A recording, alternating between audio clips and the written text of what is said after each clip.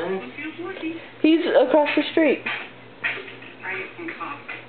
Oh, let's go check it out, and then you can have your coffee while you wait for it. I don't want any coffee. Hey, hey. Put those fingers down.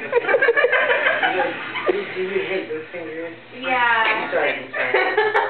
I'm sorry. I I'm sorry. Okay. If you want me to, just figure that. No. Are you gonna sleep? No, I'm not going to sleep. Okay. Just turning off my light. If you want me.